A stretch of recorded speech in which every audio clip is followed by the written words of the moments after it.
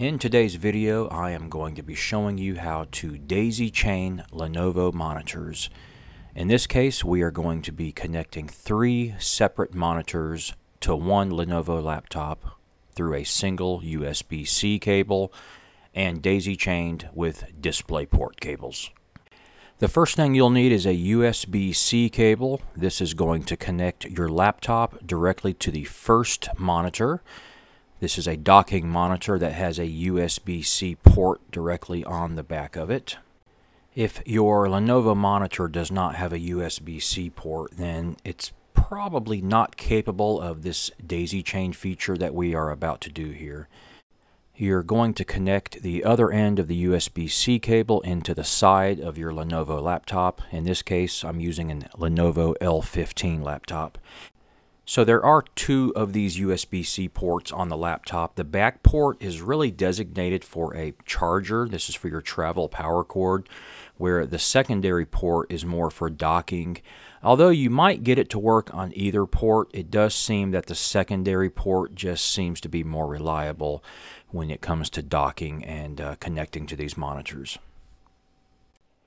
So once you get that USB-C cable connected to the monitor and the laptop, we are now going to connect a DisplayPort cable to the first monitor. It's going to plug into the DisplayPort with the arrow shown on it. So make sure you're in the right port for the first connection here. Now go to your second screen and you're going to take that same DisplayPort cable and this time it's going to plug into just the regular DisplayPort, the one without the arrow. So make sure you do that right. And then what we're going to do is we're going to attach a separate DisplayPort cable on the second monitor that goes from the DisplayPort with the arrow and then that goes into the third monitor on the DisplayPort without the arrow. So when this is done, you'll have a USB-C cable from the laptop to the first monitor. Then you'll have a DisplayPort from the first monitor going to the second monitor.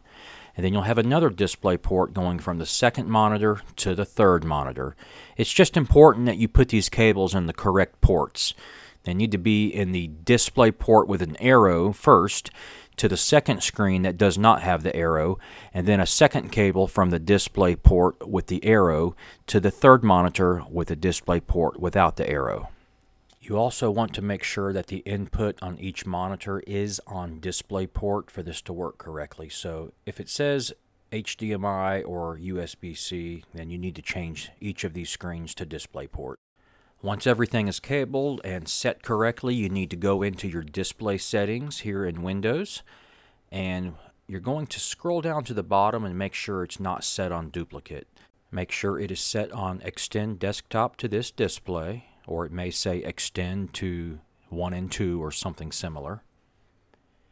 Once you get all of this set correctly, you should see your three different displays at the top. Make sure everything is set to extend and you have your display resolutions set as desired.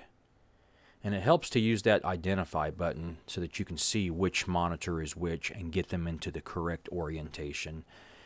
Basically getting them ordered correctly so that they flow left to right. In some cases you may see that your monitors are duplicated like it shows right here. So you just want to make sure that the setting is set to extend. As you can see, it says duplicate here. We're going to change this to extend desktop on 1 and 2. So you may have to play with the settings, but just do a right click on your Windows desktop and go to display settings and you can see all of these settings for yourself.